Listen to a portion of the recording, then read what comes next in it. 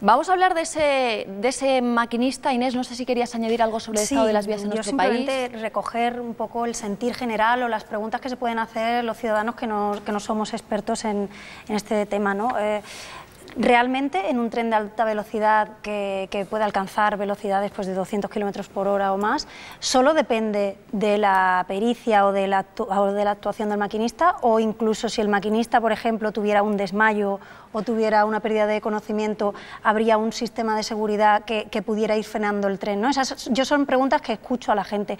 Y por acabar, yo creo que aquí yo creo que en principio no se debería descartar ninguna posibilidad de, las vías ni nada. Es decir, yo creo que se, se debería hacer una investigación absolutamente al milímetro de lo que ha ocurrido analizar las causas e intentar poner medidas para que no vuelva a ocurrir, obviamente, que es, lo que eso es precisamente lo, que, todos lo que todos deseamos. Pero lo que va a pasar, ¿no? Una investigación, hombre, Espero que sí. Además, yo creo que hay que investigar muchas cosas, porque son tanto, tanto los sistemas de seguridad como, como el tren en sí. También se tendrá que, dejar hablar a los fabricantes. Bueno, me imagino que este proceso de investigación pues será muy amplio, como intervienen varios sistemas de seguridad, eh, varias máquinas, etcétera. Pues me imagino que por aclarar, no es que no se tenga que tener en cuenta las expresiones del maquinista de justo después del accidente, sino que no solamente nos podemos basar en esas, en esas expresiones, porque yo me imagino que en un momento como ese, pues incluso sin saber muy bien lo que ha pasado, uno se siente con la responsabilidad del accidente y también la rigurosidad. O sea, yo creo que por,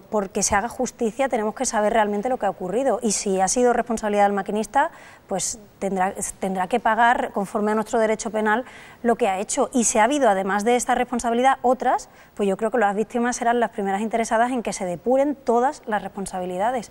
Y sin más, yo creo que, sinceramente, yo creo que tenemos todos los elementos necesarios para que se llegue a una conclusión cierta de lo que ha ocurrido y con la vista siempre puesta en futuro. No solo hacer justicia a todas las víctimas, hacer justicia, sino también tomar medidas para intentar que esto no vuelva a pasar. Lo que tú decías, que cada vez el factor humano pues sea menos determinante pues, en el caso de que haya sido así. Un juicio.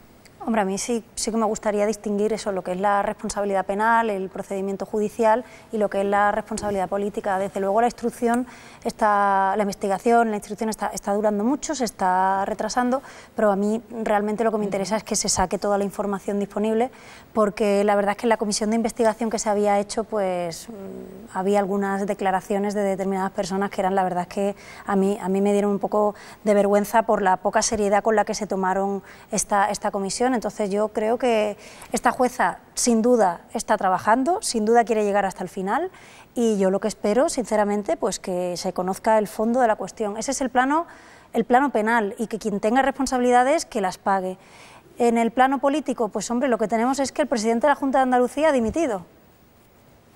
Casualmente, cuando a los dos días el interventor general de la Junta de Andalucía pues le, le nombra le nombra como uno de los conocedores del caso, que está claro que es una declaración del, del exinterventor, pero, pero bueno, sin duda alguna Aquí hay una sombra sobre el Partido Socialista que tendrá que dar muchas explicaciones y que tendrá que, depurar responsabilidades. Y lo digo precisamente en un momento en el que el Partido Socialista intenta dar lecciones de moralidad a, otros partidos que también tienen casos de corrupción gravísimos. Es decir, en el fondo lo que hay es que tomar medidas.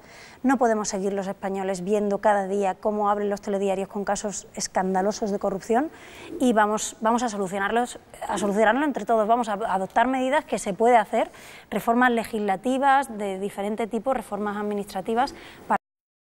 Yo, como sabéis, soy diputada de, Ciudadanos, que es un partido pues, que defiende que los catalanes también podemos ser españoles, y esto lo tenemos que sufrir.